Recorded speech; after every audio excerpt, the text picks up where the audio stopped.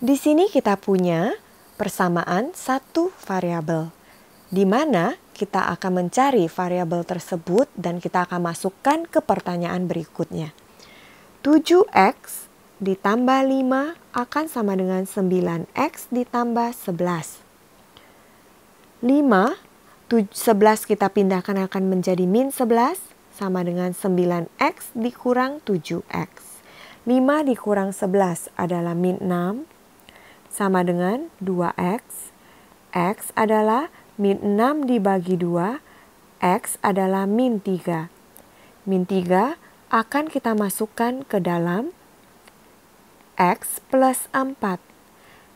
X-nya adalah min 3. Min 3 ditambah 4 akan menjadi 1. Sampai jumpa di pertanyaan berikutnya.